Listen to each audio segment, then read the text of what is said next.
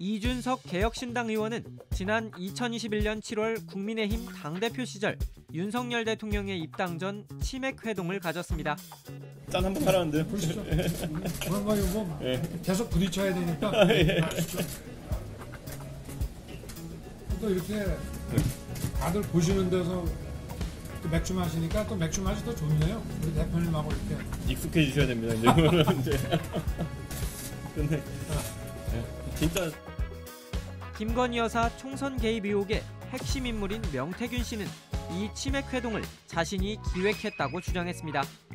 그러면 건대 앞에서 만난 거 누가 누가 그렇게 짰겠어?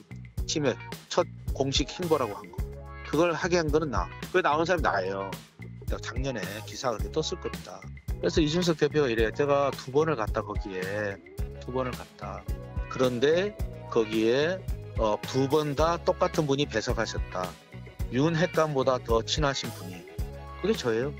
그러자 이준석 개혁신당 의원은 대선 당시 치맥 회동 기획은 당시 당대표 비서실에서 했다고 반박했습니다.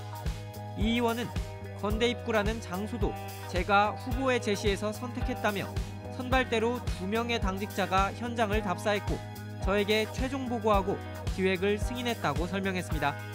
또 명 씨가 치맥 회동 참석자 중 윤핵관보다 가까운 사람이 있었단 언론 보도 내용을 언급한 뒤 자신이 그 당사자라고 주장한 점에 대해선 명태균 사장이 아니라 김건희 여사의 배석을 두고 이야기한 부분이라며 배석자가 김건희 여사가 있는데 왜 당대표실을 의심하냐고 항의한 기록이 남아있다고 설명했습니다.